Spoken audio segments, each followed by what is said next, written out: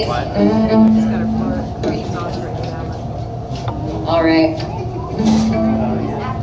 We'll pick it up a little bit. I'm pretty, uh, pretty good at playing slow songs. I do a lot of them. But we're gonna not do one right now. it's kind of, it's always a tough place to be because I love to dance and I love to two-step and all that stuff, but,